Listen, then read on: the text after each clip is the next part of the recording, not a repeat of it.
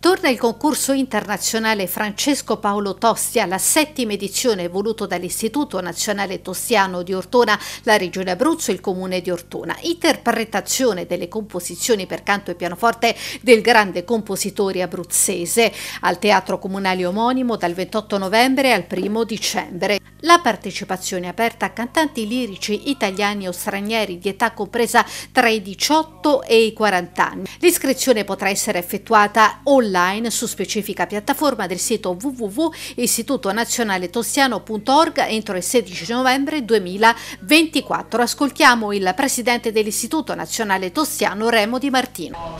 Ah, la novità è innanzitutto che siamo riusciti a fare il concorso, perché con il fatto che purtroppo l'amministrazione del comune di Ortone era caduta, mm, con lei e anche era decaduto pure il CDA, abbiamo corso il rischio di non farlo il commissario ci ha rinominato e lo ringraziamo e facciamo questo concorso. Siamo alla settima edizione, è quadriennale, le novità sono che è aperto a tutto il mondo e che abbiamo uno straordinario parterre di giuria.